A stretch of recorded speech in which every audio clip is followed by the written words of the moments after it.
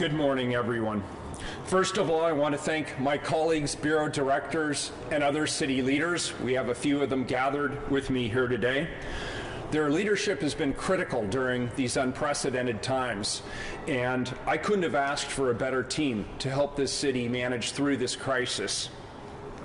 We're here today to share what the City of Portland has done, what we're doing, and what we will do going forward to save lives. As was mentioned, this is the first of two briefings this week. Later this week, we'll have a briefing related to housing and economic relief. As mayor, my first priority is the health, safety, and well being of everyone in our community, and I'll do whatever it takes to contain this pandemic. My colleagues and I are laser focused on achieving this goal, as well as supporting both the resilience and the recovery of our community, both socially and economically. As our city, our first priority is to maintain the essential services that our public relies on to keep their lives on track. We took early action, declaring a state of emergency almost two weeks ago to ensure that our community stays safe and that it stays solvent. A week ago, City Council passed an ordinance putting a moratorium on evictions of those struggling to pay rent due to the financial hardships caused by COVID 19 our water and our sewer operations suspended any disconnects, and I was very pleased to see that our private sector utilities followed suit, and I want to thank them for that. Our city's Economic Impact Task Force has also made terrific progress in developing immediate and near term solutions and actions and relief to keep Portland businesses going. We continue to meet with banks, lenders, and other financial institutions who are willing to invest in offers of support for small businesses and others that drive our local economy. The city is also forging ahead on multiple fronts to ensure housing stability. And amongst those actions, we've repurposed $1 million in funds to support emergency assistance for households affected by the COVID 19 crisis. The Bureau of Development Services is prioritizing permits for Housing Bureau sponsored affordable housing developments. This will keep the production of housing for low income Portlanders on track even through the crisis. And commercial tenant rent in and on all city owned properties, including food cart rental space, will be deferred for three months. In summary, we're responding to the COVID 19 as an employer as a first responder via, via our police and fire bureaus, and as a provider of fundamental infrastructure that our community relies on even in a time of crisis. What I've shared with you today is just the tip of the iceberg in terms of what we're doing as a city. Other city leaders are here today to fill you in on more of the actions we're taking as a city to ensure the continued exceptional livability we've all come to enjoy as Portlanders. Before I turn this over to the next speaker, I have a message for the people of this city. I want you to know, as mayor, that I know that everybody is being impacted, in many cases significantly, by this crisis. I want you to know that we're all making sacrifices together. Times seem very, very difficult right now, but I want you to know this we will get through this crisis. We'll come out on the other side, and I believe we'll come out a better community. We'll get through it, and we'll get through it together. Thank you, and I'll now turn this over to our police chief, Jami Resch, right behind me.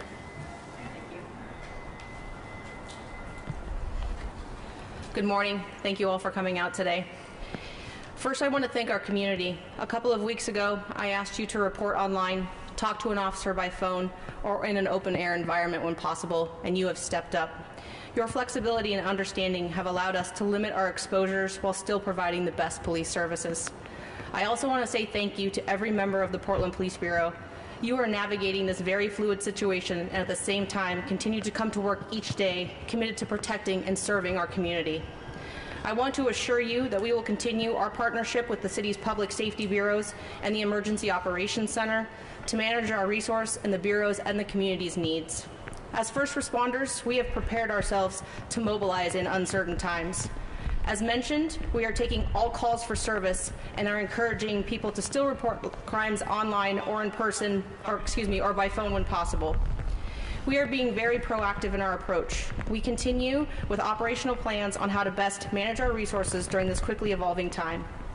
We are asking our community members to comply with the governor's order to stay home and stay healthy. This is a matter this is meant to save lives and I cannot stress how important this is. PPB will first attempt to educate any violators in accordance with the social distance guidelines. We will issue warnings if community members comply, but if necessary, we will issue criminal citations for noncompliance. We also understand that many of our homeless community may not be aware of the health, health crisis or the orders, which is why it is important for us to take an educate first approach. There are things the community can continue to do to help. First, be aware of what the order allows and what it prohibits. It is imperative that people refrain from calling 911 and overloading the emergency system with non-emergency calls for service. The non-emergency dispatch line can be utilized to report those not complying with the governor's order. These calls will be triaged to determine if a police response is appropriate based on our resources and call volume at the time. I want to clarify some information about crime at this time. We are monitoring our calls for service very closely to help us understand where our resources are needed. In comparison, from March 12th to March 22nd, we learned that dispatch calls are 10% lower than they were the 10 days prior to the state of emergency. Calls involving suicide attempts or suicide threats with or without a weapon are up 41% from 2019 and up 23% from the 10 days prior to the state of emergency. This statistic is very concerning and there are resources available for those who are struggling. I ask everyone to reach out by phone, text, or video chat to connect with your family, friends, and neighbors. If they are struggling, make sure they know how to access make sure they know how to access help, which is available through the Mental Health Crisis Intervention Line or Lines Through Life. We are continuing to partner with our Sunshine Division to provide food boxes for those who are unable to pick them up themselves. Requests for emergency food boxes have increased more than six times for the same period in 2019 and are up eight times from the 10 days prior to the state of emergency declaration. We have had a number of inquiries about whether domestic violence calls have increased, and that data is not available at this time because of the variety of ways calls are coded. We are concerned about the safety of those who may be experiencing abuse and continue to provide information about resources such as the National Domestic Hotline or call to safety. I want to highlight that our officers are proactively checking businesses and watching to interdict crime. The vast majority of our community is working in cooperation to help mitigate the spread of the virus and obey laws and orders. There are some select individuals who will attempt to take opportunity to capitalize on the vulnerable, and we are working hard to educate the public and interdict their crim criminal enterprises. For example, over the weekend, officers with the Beaverton Police Department collaborated with our officers to recover stolen masks that were needed by medical staff and our first responders. We are concerned about possible scams and ask the public to be mindful that there are some people who may be trying to make a dollar selling equipment or items that are not what they are purported to be. Finally, I am aware of some businesses in the Pearl District that were vandalized over the weekend. This appears to be a singular instance and is not widespread. Our businesses and those employed by businesses are hurting right now. Please help us by reporting any suspicious activity, and we will continue to proactively patrol these areas. We ask those business owner, owners to report crimes to us through online reporting if it is after the fact. We continue, we continue to work with all of our city, county, and state partners to ensure we are well coordinated and functioning as a team. I have a strong belief in our community. We are known for our care and our compassion in this city, and I am confident that if we continue to work together, we can ensure that our first responders are safe and healthy and available for urgent calls for service. This time of uncertainty is difficult. We can, however, tell you that as first responders,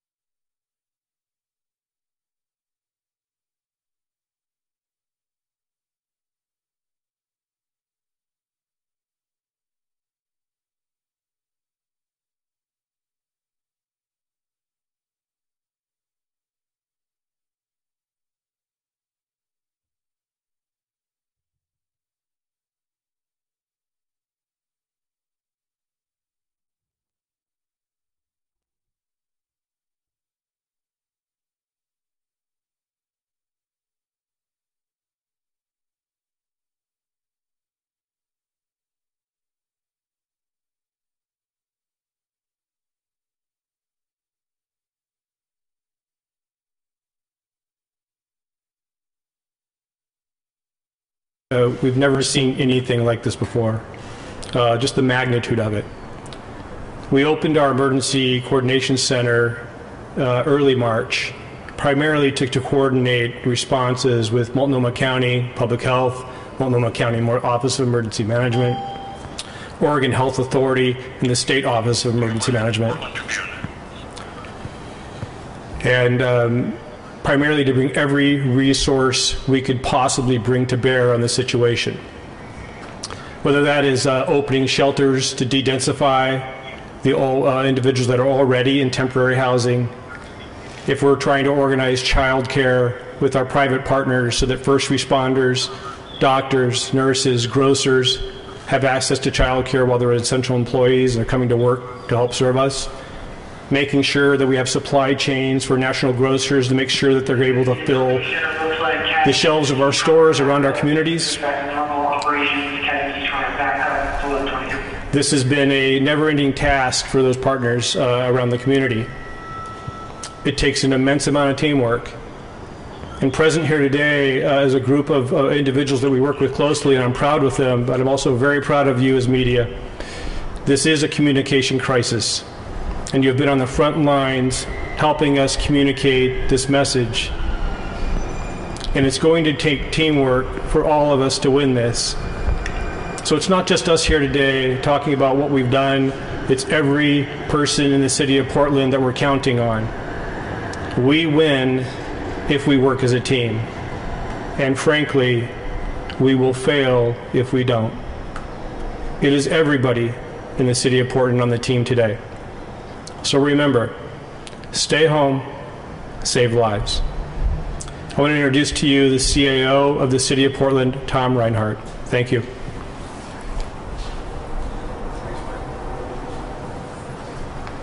Good morning.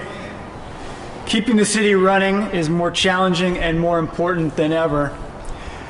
Over the past week, as the city has directed everybody who can possibly telework to do so, we have focused on providing the tools and training to make that possible. That means making sure staff have access to Microsoft Teams, Zoom, and other conference tools, as well as access to our network when they need it. Technology is allowing many workers across the city to provide key services, such as the city's development services team, which is continuing to process permits like the mayor mentioned.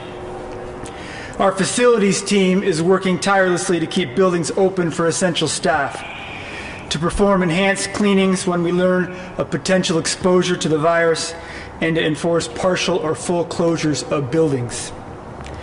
Our fleet team has stepped up cleaning protocols and adjusted our staffing to make sure first responders can safely continue to serve the public with city vehicles and equipment.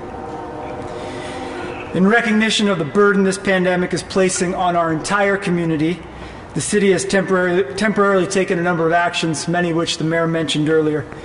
We have suspended pursuing collection on past due taxes, and we are also offering commercial tenants the opportunity to defer rent temporarily, in addition to their loan payments for three months. We have deployed 23 hand washing stations and 15 portable toilets across the city and through our Parks and Recreation team, we are providing houseless individuals with access to bathrooms at dozens of parks across the city as well. These actions are an essential part of supporting the houseless community who are especially vulnerable during this crisis. Here's what we want the public to know.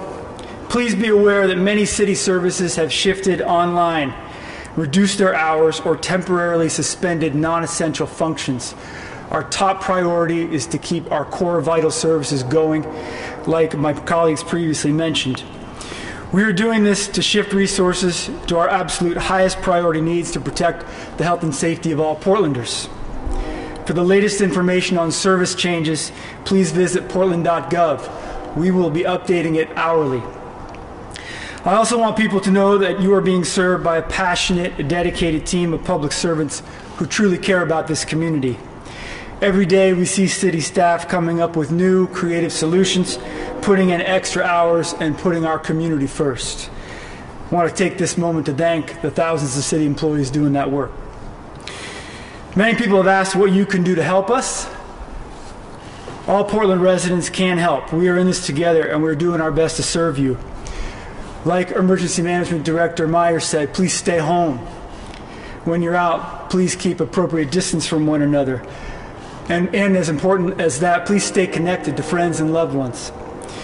Please use the city website, portland.gov, as I mentioned earlier, to alert us to challenges with essential services and know that we will do our best to restore non essential services as soon as we are able. And now I'm going to turn it over to Transportation Director Chris Warner.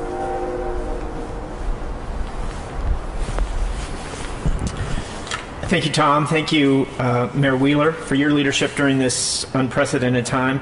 I also want to um, um, express the uh, Commissioner Eudaly, the Transportation Commissioner, wanted to be here today, uh, but she is at home uh, taking care of her son, who uh, is very vulnerable to the coronavirus. So she just wanted me to relay to you that uh, if you're able to stay home with your loved ones, please do that because it's very important that we, as a community, come together to support those that are the most vulnerable in our community.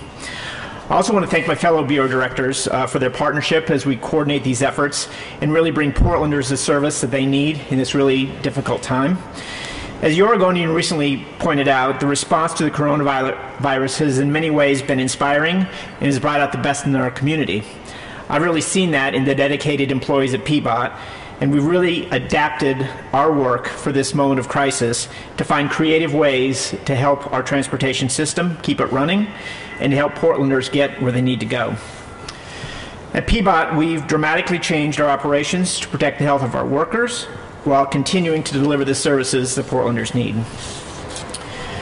We really need to make sure that Portlanders can access the critical things like food and medical care. That's why our field crews are focusing their efforts on the transportation on keeping the transportation system running and addressing the essential needs like sewer breaks or broken signals. In the last few days, our crews have cleared debris from the roads. They've responded to a dozen urgent sewer calls, and they've addressed over 70 emergency traffic sign repairs. To protect our medical system, we've also limited ridership on the Portland Aerial Tram to only hospital employees and patients, and we've also reduced the occupancy to 10 people at a time so we can really preserve the social distancing. We've also reduced the frequency of the streetcar. This will allow us to provide that vital service while decreasing the number of employees that are working at any one time. And to, and to protect our employees, we've also instituted, as Tom said, a remote work policy for our critical PBOT staff so they can perform their work uh, remotely. If Portlanders see an urgent street repair issue that needs to be reported, please call 503 823 1700. This is our street maintenance hotline, and it's staffed 24 hours a day. I really also want to urge Portlanders to travel with caution. With schools closed, there are more children out and about. Biking and walking have never been so important as people, you know, take the time to get out of their houses. Uh, in this situation, you should assume that every street is a shared street. Watch out for your fellow Portlanders. Drive safely and slowly, especially in our neighborhoods. And finally, please follow the governor's order. Stay home, save lives. These days and weeks will really define us, and for this generation and, and, and, and beyond. I was born and raised in, in Oregon, and I know that this really is an unprecedented challenge. And as the mayor said, we really will get through this together. So um, stay safe out there and um, know that PBOT's there to help.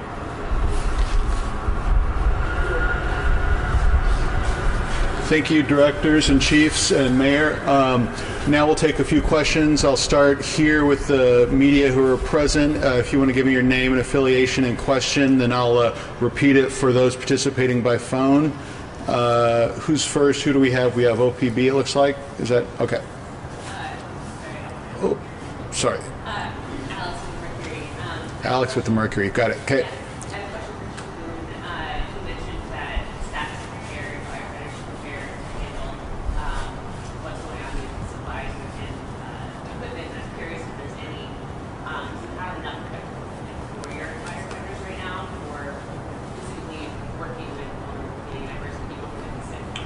Okay, so the question uh, from Alex at the Mercury was uh, for Chief Boone uh, with uh, Fire and Rescue.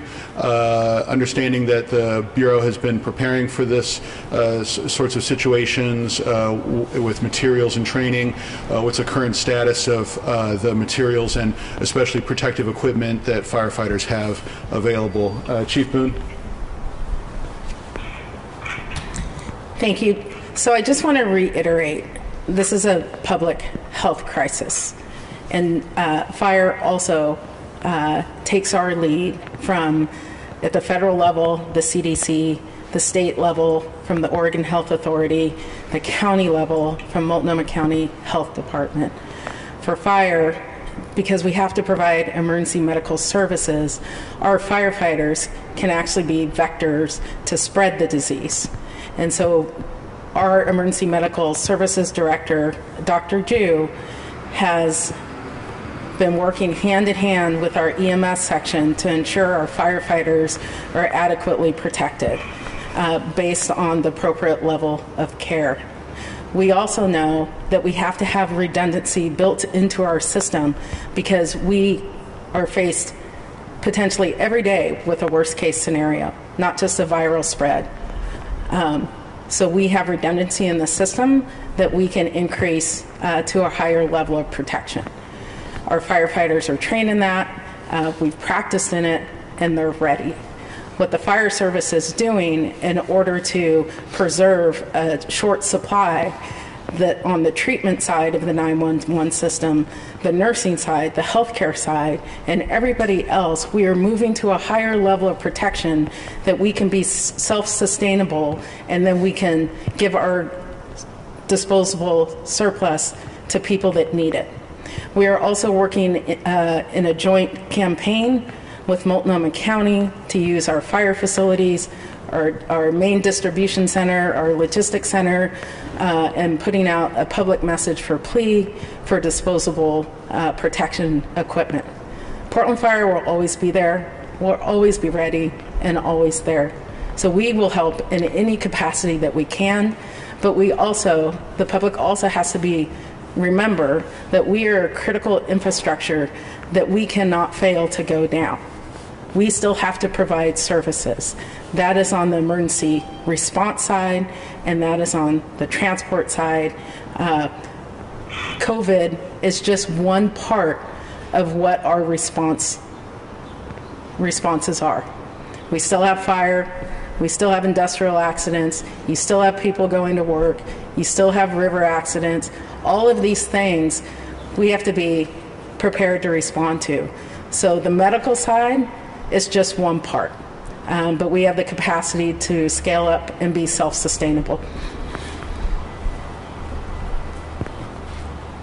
Thank you, Chief. Any other questions here in the uh, present? Uh, yes. Uh,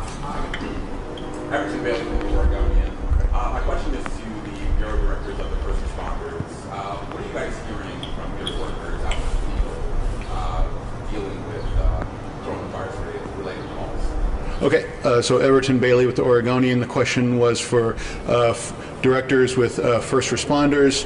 Uh, what are you hearing from your staff in the field? What are they seeing? What are they experiencing when they're responding to, uh, to calls for service, right? Okay, um, uh, Chief. Good morning again. Um, mainly what I'm hearing um, from the officers is um, their gratefulness for the flexibility that the community has provided as far as our unusual approach to calling you on the phone or asking you to step outside when there's a call for service. Um, and they're grateful for that, but they're also concerned. Um, they're concerned about unintentionally spreading this virus. They're concerned about coming into contact with this virus. So I think we've done a really good job um, as bureau directors trying to educate our employees as much as possible about what we're doing to try to prevent any of that from happening. Um, but for the most part, um, I think that they're feeling supported, and I will continue to do everything I can to make sure that they know that from the top down, we are doing everything to provide for their safety and the communities.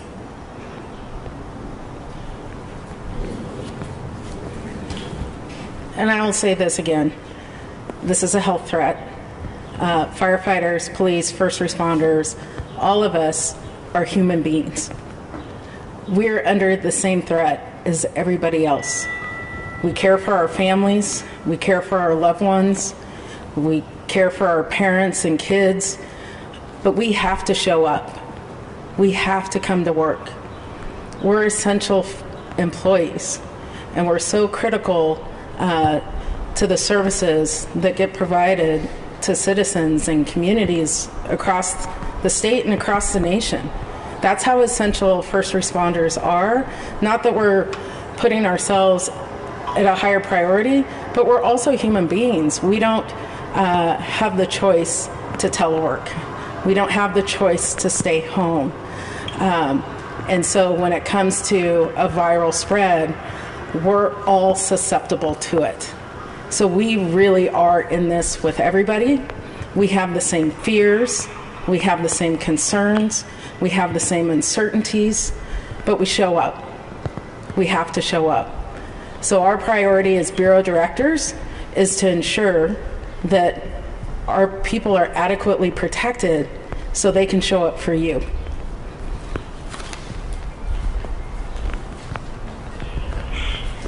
Um, okay, another question from uh, here. Uh, first.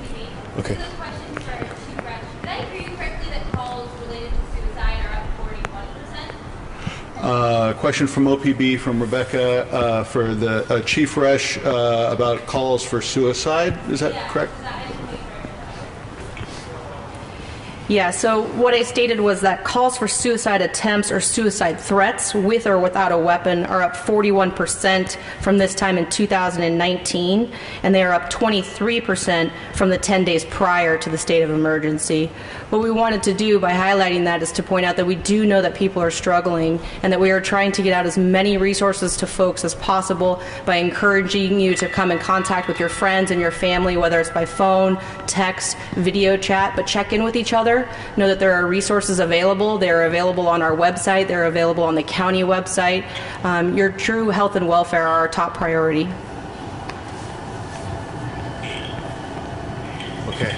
Is that the last question here? Okay. All right. I'm gonna um, I'm gonna go to the phone uh, first, and I'll come back. Uh, so first, let's go to our pool uh, KGW. Uh, uh, is there a KGW reporter with a question on the phone?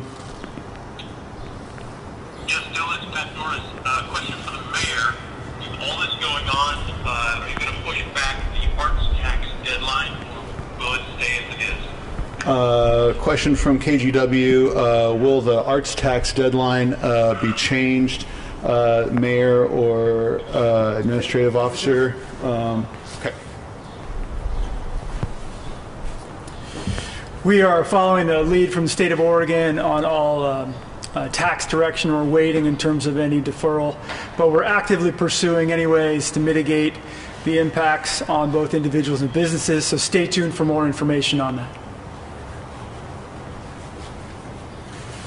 Just to clarify, that was uh, Tom Rinehart, Chief Administrative Officer. Um, okay, uh, next uh, from, let's go, uh, Channel 6, KOIN. Uh, did you have a question on the phone? Yes, thanks so much. Lisa Bailey from KOIN. Um, question for Chief Resch relative to all the businesses, especially all the small businesses. What's happening in terms of protecting those businesses from any kind of possible looting or other kinds of situations that may occur with so many of them closed and not being watched? So the question from Channel 6 was uh, uh, for Chief Resch, uh, what's happening to prevent looting or other criminal activity around small businesses? So as I mentioned a little bit earlier, we're actually, you know, we're asking everybody to watch out for the areas. Um, if you're out about and walking and you see something that's suspicious, please do call. Officers are responding to those calls for service. We also understand that there are large areas, business districts that are basically shut down, and we're asking all of our um, officers when they are on patrol to do extra patrols in all of those areas. Look for anything that's suspicious, but we're highly encouraging folks to call in suspicious activity so that the officers have the ability to respond. We are aware that there are large areas that don't have a lot of people in them right now and that are vulnerable, are vulnerable and we are doing our best to um, uh, do extra patrol in those areas. Thanks, Chief. Um, next, I'll go to uh, the phone. Uh, K2, uh, Keaton, are you still on the phone? Do you have a question? Uh, yes, I am. Thanks for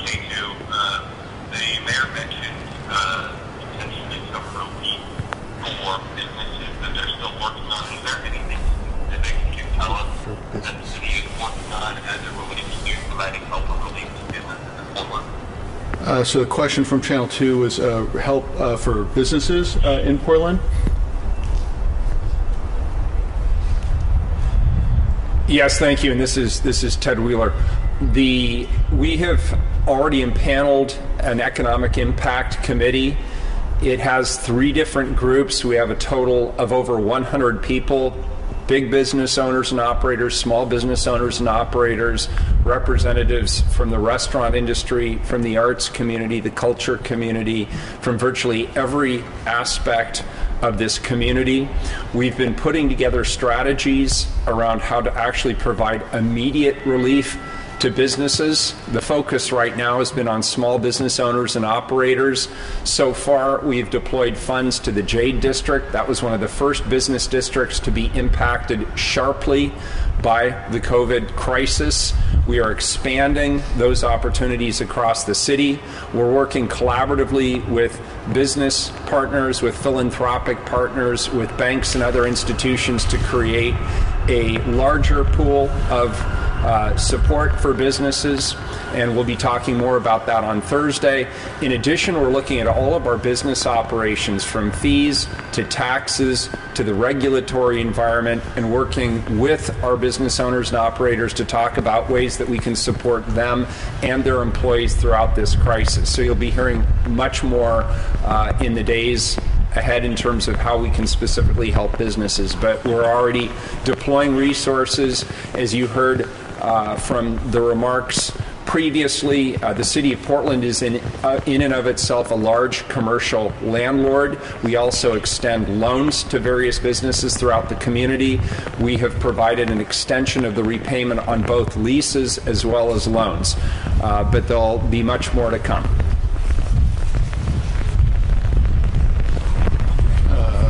Thank you, Mayor. Uh, next uh, on the phone, do we have a question from Fox 12 or anyone from Channel 12 online? Yeah. Can you hear me? Yes. Okay. This is Sarah Hurwitz with uh, KPTV. Um, and this message, or this question really is just for anybody who wants to chime in because um, homelessness and, and people living on the streets is touched on by several um, speakers um, today. Uh, my question is, what kind of resources are um, available for folks who are living on the streets? And then, you know, also to talk about how tough it is um, in enforcing, you know, social distancing and, and these kinds of guidelines. How would there be enforcement with folks who, you know, are in these tough situations? Okay. Uh, so a question from KPTV was about uh, uh, service to folks who are uh, homeless and houseless, and then uh, potential uh, enforcement questions, right? So I'll, I'll take that. This is Ted Wheeler. I'll take it first, and then I'll turn it over to Mike Myers and others. But first of all, let's be clear the governor's order applies to all Oregonians. So the social distancing, distancing requirements, as well as the uh, exceptions in terms of travel. If a person is homeless in this community, they still have the ability to go to Blanchet House or seek additional services. Uh, moreover, we have people going out into the community. We have 14 different organizations working collaboratively, going to camps and encouraging social distancing. The CDC came out with guidance yesterday saying that we should not disrupt camps. If we have groups of people that are already camping together, they should stay together. We should not be breaking those camps up and encouraging people to spread out across the community. The city and the county jointly have opened significant new sheltering opportunities. Today would be a great day to take advantage of those. We have both the Charles Jordan Center now online as well as the Oregon Convention Center.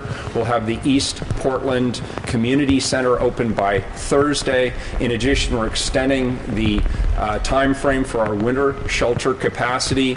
And in terms of camp cleanup, we have suspended camp cleanup based on the CDC guidance, except in the case where a camp puts the campers or uh, the houseless individuals or others uh, in the direct line of danger. For example, if somebody sets up a tent in an area where they could be hit by a car, they will be asked to move, but otherwise, we're following the CDC guidance. And uh, with regard to enforcement, I'll turn it over to Mike and then Chief Resch. Good morning. Mike Myers, uh, Director of Portland Bureau of Emergency Management.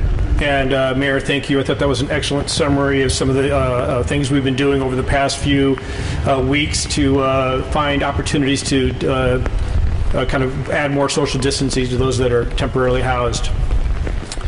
So we have a lot of vulnerable population out there that is currently housed. These individuals are isolated and marginalized. Some of our elderly community as well. So I, I want to uh, give a shout out to uh, uh, nonprofits out there like Meals on Wheels, who you know is, is still making meals, is still out there as volunteers working with them, delivering these meals, doing welfare checks. Uh, we really have seen a lot of volunteers come together to help us expand this operation. It is difficult in, in regular times. It is even more difficult now. So we also have the neighborhood emergency teams that are out there. We have hundreds of volunteers that are standing ready to serve. Uh, they're, op- they're operating outside of our emergency operations center right now, assisting us in there, and they're ready to be out in the community, uh, finding out what needs are in the community and bringing that information back to the EOC so we can generate a response. So I wanted to make sure that we had the opportunity to thank those volunteers as well. So thank you. Far as the enforcement efforts are concerned, um, enforcement in regards to criminal citations is going to be the last resort of the Portland Police Bureau. If there are communities that are in need of assistance, houseless populations, we will work with all of the resources um, available to try to make sure that we can find uh, places for folks that do allow for proper social distancing. Like I said, um, the enforcement piece is going to be an educate first approach, so we know that everybody is fully aware of what the order allows and what it prohibits. Um, we'll use every resource available to us to make sure that we can provide uh, resources for the folks that we come into contact with. And again, stressing that uh, citations will only be issued as a last resort.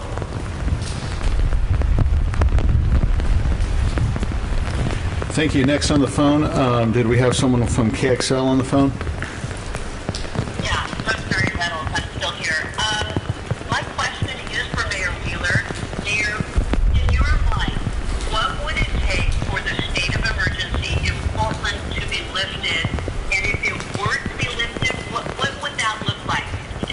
Question from KXL um, for the mayor. Uh, what would it take for the state of emergency to be lifted, and what would that look like for the state of emergency to be lifted in the city? Thank you. So the state of emergency is in two-week durations. It will come up for renewal on Wednesday. I will extend it. I'll be seeking my guidance from public health professionals, medical experts, and others. We're still in the upside of the contagion curve, so this would not be a good time for us to suspend the emergency declaration.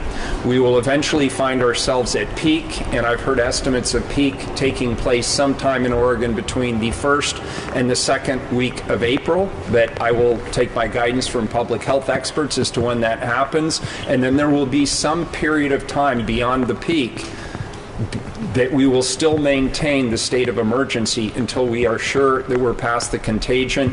I will be relying heavily on public health officials and medical examiners to guide us as to when the best time is to lift the state of emergency. And when that state of emergency is lifted, it will be uh, made quite public to people and we will go back to business as usual, but we're not there yet. To be clear, right now the order is stay at home, do not travel. We collectively control today ourselves how deep and how long this crisis lasts through our own behavior. My actions impact your health. Your actions impact my health. So the order for right now is stay home, do not travel.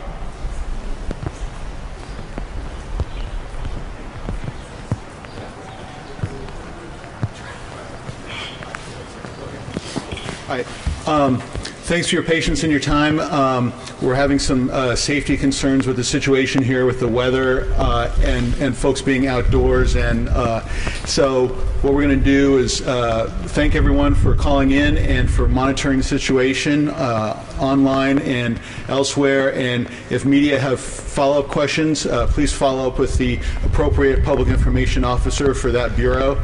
Um, uh, this, uh, you know, the city, uh, all of our staff you know, are hard at work in adapting our operations, and we're here and we'll be responsive. So thank you so much for participating, and we'll be in touch. Uh, media should follow up with public information officers uh, for follow-up questions. Thank you.